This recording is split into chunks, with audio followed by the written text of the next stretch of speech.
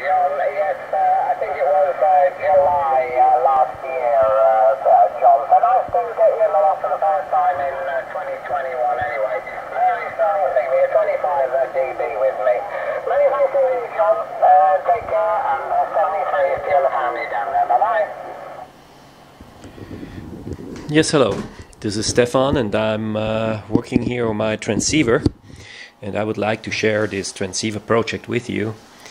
And maybe you are getting interested in uh, amateur radio or building uh, receivers and transmitters, and uh, it maybe inspires you. I would like to go through all the, the steps I've taken over the last year almost, and uh, gonna blog it, and maybe it is of any interest.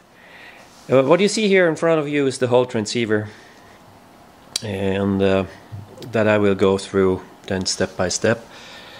Um, maybe we start where the antenna signal um, enters the board. That's uh, I try to catch this here on camera. Let me see. Uh, it seems to work. Here on the back, the antenna, which is on the roof, it's a simple wire antenna, is entering the transceiver. It's getting here into the uh, RF amplifier. This is an antenna amplifier, and then goes through these three um, bandpass filters.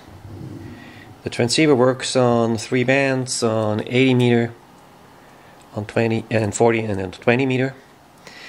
And after these bandpass filters, the, the filtered signal is going into the the mixer board. And the mixers you see here. You see three mixers on this board. Some power supply stuff here. But the important are these three mixers. The first mixer here is mixing the input signal um, down to 9 uh, megahertz. The ZF, the, the intermediate frequency is uh, 9 megahertz.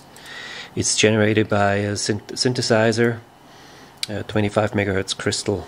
Maybe you see it, I don't know. It's, it's to be difficult here. Yeah, alright.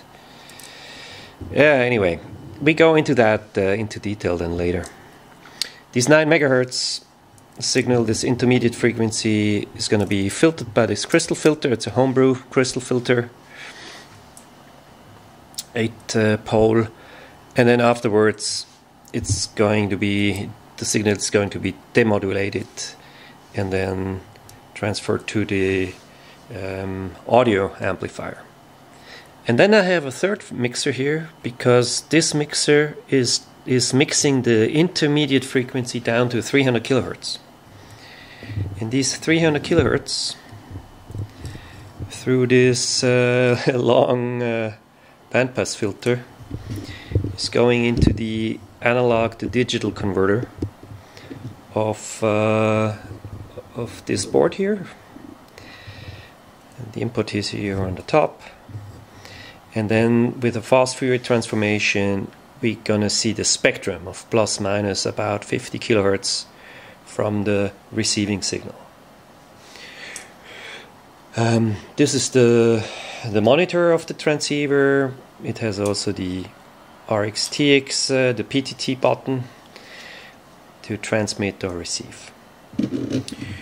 Um, the analog part is, is this microphone uh, amplifier here. It starts, uh, the TX starts with audio signal.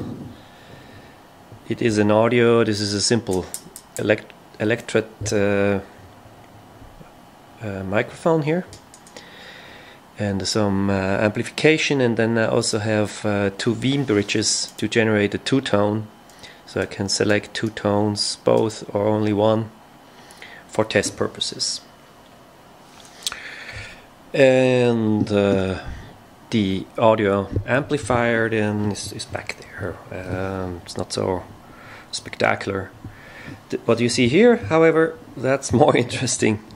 That's the power amplifier. First, we have a, a preamplifier. We get a, a, rather small signal from the mixers.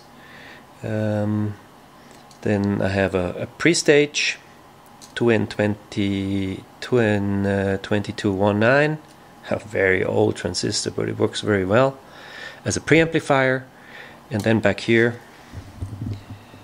um, we have down here an MRF uh, 101 power amp, and this amp here is generating about 40 50 watts a little more on 80 a little less on 20 meters. On 40 meters it's about 40 watts.